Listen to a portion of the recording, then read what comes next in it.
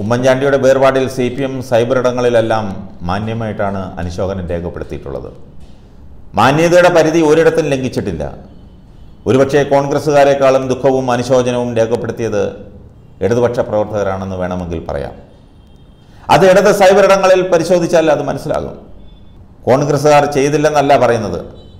ഇതിവിടെ പറയാൻ കാരണം കൊടിയേരിയുടെ വേർപാടിൽ അന്ന് പല കോൺഗ്രസ്സുകാരും ചെയ്ത പ്രവൃത്തി ഓർത്തുപോയതാണ്. ഞാനിപ്പോഴും ഓർക്കുന്നു.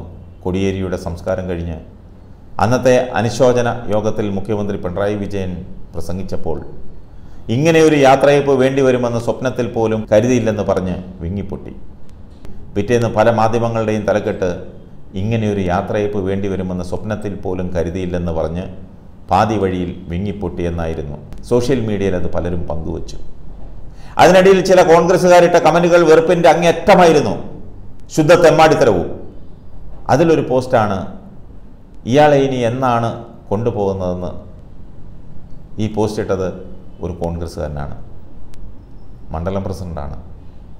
രാഷ്ട്രീയത്തിൽ കാലെടുത്ത് വെച്ച അന്ന് മുതൽ ഇന്ന് വരെ സ്വന്തം പാർട്ടിക്ക് വേണ്ടി മുദ്രാവാക്യം വിളിച്ചതിനേക്കാൾ കൂടുതൽ സി പി എമ്മിനെയും നേതാക്കളെയും തെറി വിളിച്ചവനാണ്.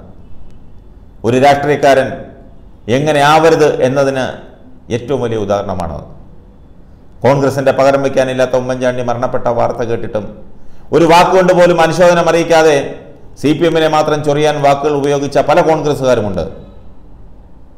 അവരെ പോലുള്ള മനുഷ്യത്വം തൊട്ട് തീണ്ടാത്തവരാണ് ഈ പാർട്ടിയിൽ ഏറെപ്പേരും എന്നത് പൊതുജനം തിരിച്ചറിയേണ്ടതുണ്ട്.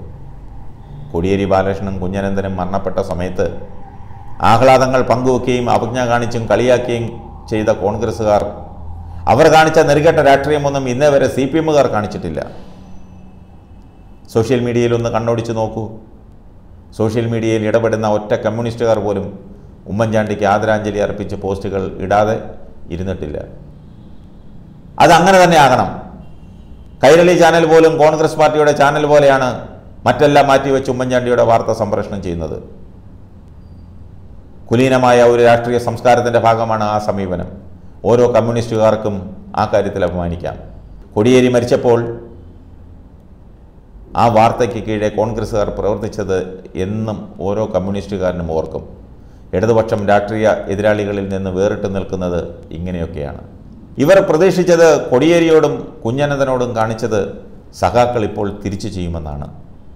ആ പേരിലൊന്ന് നിലവിളിക്കാമെന്ന് കരുതിയിരുന്നതാണ് അത് നടക്കാത്തതിലുള്ള വിഷമത്തിലാണിപ്പോൾ യൂത്ത് കോൺഗ്രസ്സുകാർ.